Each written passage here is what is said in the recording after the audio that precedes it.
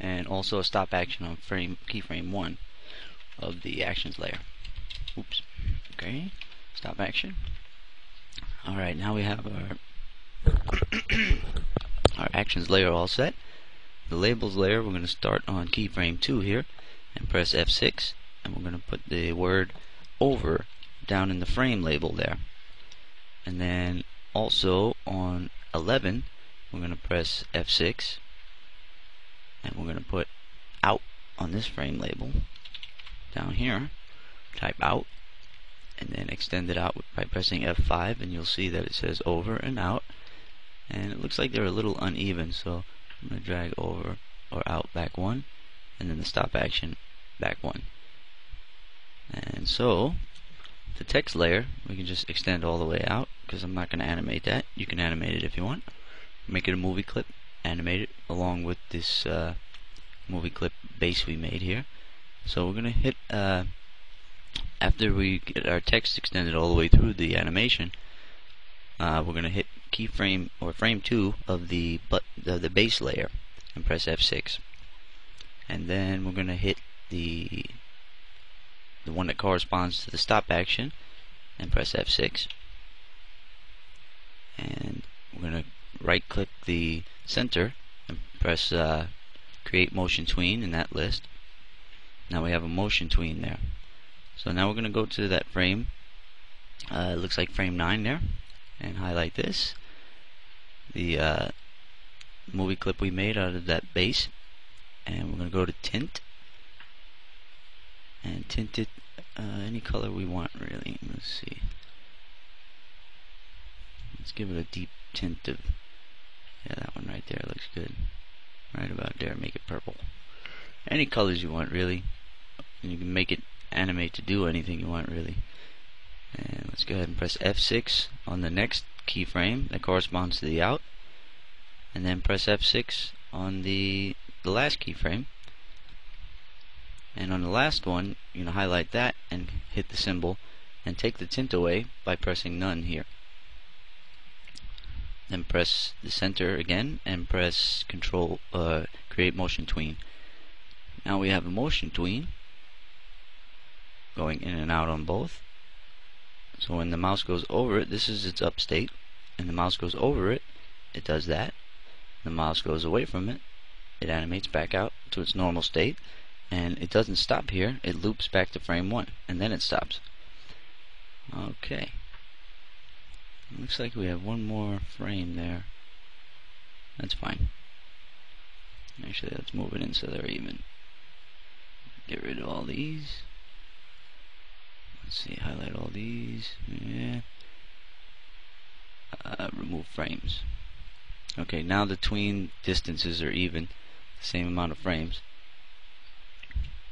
And that's it. That's pretty much it. That's all you want to do inside of the button symbol and go back out into scene 1 by clicking scene 1 here. And now we can put some code to make all of that uh, this button 1 instance get all those uh, animations working the timeline animations inside of it.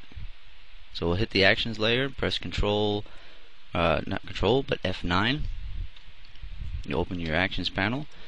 Now we're going to start the uh, the action script that will get the the buttons working. First I'm going to make one button, then I'll make another button to show you how you can duplicate it. So you hit the F9, go into the Actions panel, and we're going to type in the function for the first button. Function space btn1 is the instance name we gave it. And this is event colon mouse event the event is a mouse event. And we also want to put a void in here. And then a curly brace. I'm going to close up the curly bracket there. Or curly brace whatever you call that stupid thing. And then btn1 dot do and play over. That over instance we made or the over frame label we made inside the movie clip. That's what it's going to play here. Alright. That's closed up. Okay, so now we have function, button 1, event, mouse event, button 1, go to and play over. That's exactly what we want. So let's press Control C, highlight it all, press Control C, and under it, let's paste, Control V, and button 1, mouse event, rename this out. And, uh,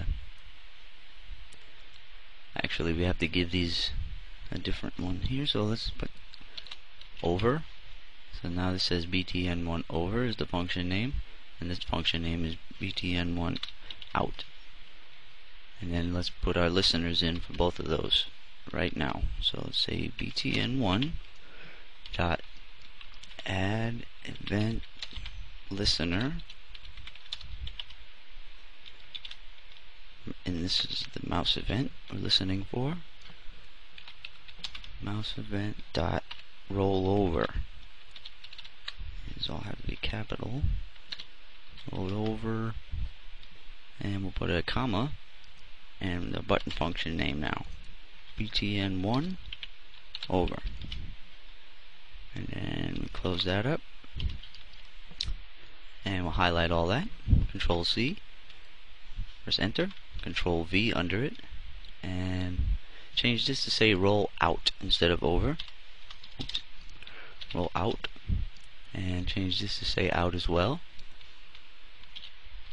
Now it's listening for the button one out function and the button one over function that we just created up top here.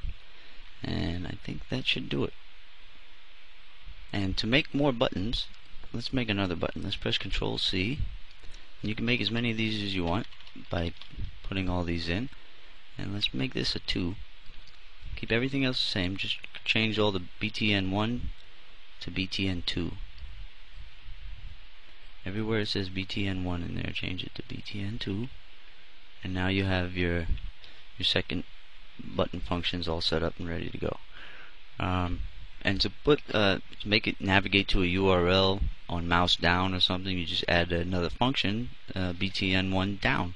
And you add a listener btn1 down here and it would say mouse event uh, mouse down or click whichever one you want. Okay so the buttons are set up to do their animations.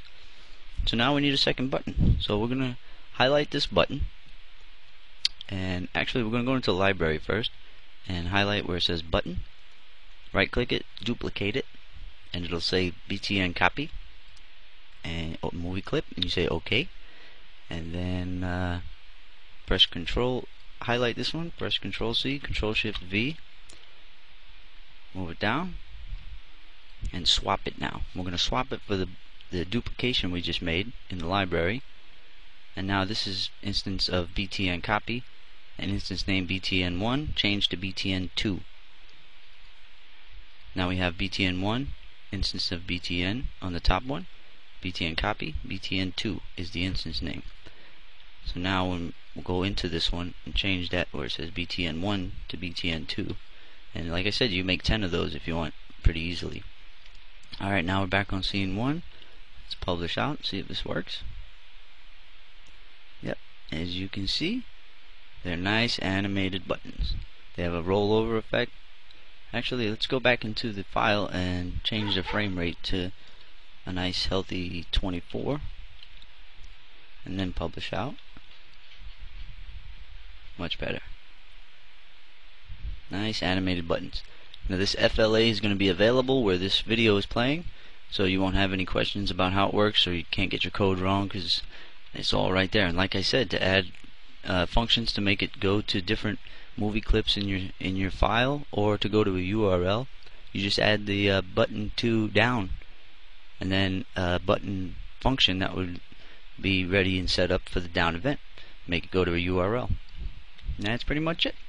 That's how you make uh, animated buttons. Like I said you can make a whole bunch down through there. They can look like whatever you want them to look like. Uh, they can resize. Instead of changing color you can animate them to bulge and get bigger smaller whatever you want to do. So that's the end of that one. That was pretty simple and we'll see you next lesson